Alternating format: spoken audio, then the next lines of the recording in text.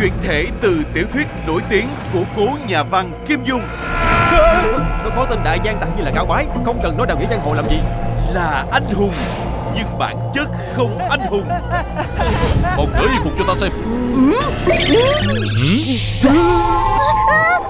Ta muốn cô thật sự thành thế tử của ta. Trừ khi ngươi là rùa đen. Giáo chủ phu nhân đúng là tuyệt thế gia nhân. Một kẻ không cơ đồ lại làm nên việc lớn. Ta là Thái hậu Ai dám ra tay hả? Muốn thủ hại chết họ là cao thủ võ lâm. Ở trong hoàng cung. Tân Lộc Đỉnh Ký phát sóng lúc 20 giờ hàng ngày trên kênh SCTV4